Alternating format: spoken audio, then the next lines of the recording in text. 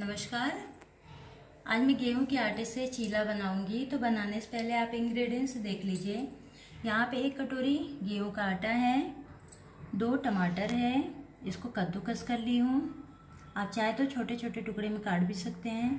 थोड़ा सा हरा धनिया है थोड़ा सा चिली फ्लेक्स है, और यहाँ पे एक छोटा चम्मच जीरा है, यहाँ पे काली मिर्च पाउडर है। तो चलिए बना लेते हैं। तो सबसे पहले मैं एक टोपली हूँ, इसमें ये आटे को डाल लेती हूँ और इसमें थोड़ा थोड़ा पानी डाल के इसको, इसका पेस्ट बना लेते हैं। पानी डाल के इसको पेस्ट बना लेते हैं।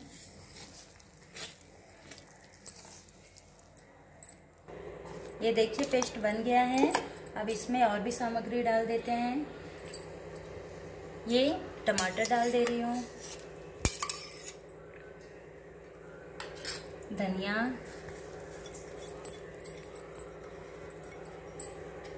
काली मिर्च पाउडर। जीरा। Chilli flakes.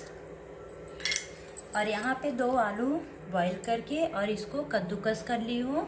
इसको भी इसमें डाल लेते हैं।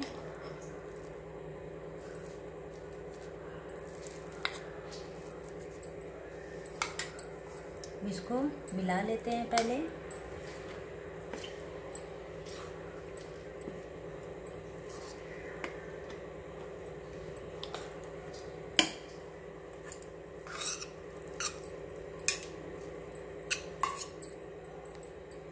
ये देखिए, ये सब मिक्स हो चुका है। अब इसमें नमक डाल लेते हैं। ये देखिए, इसमें नमक भी मिक्स हो गया है। अब चलिए इसको बना लेते हैं चिला।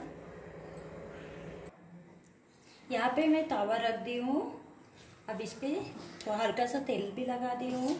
अब इस पर एक कलछी डाल देते हैं। इसको ऐसे फैला देते हैं। छोटा बड़ा आप अपने हिसाब से बनाइएगा।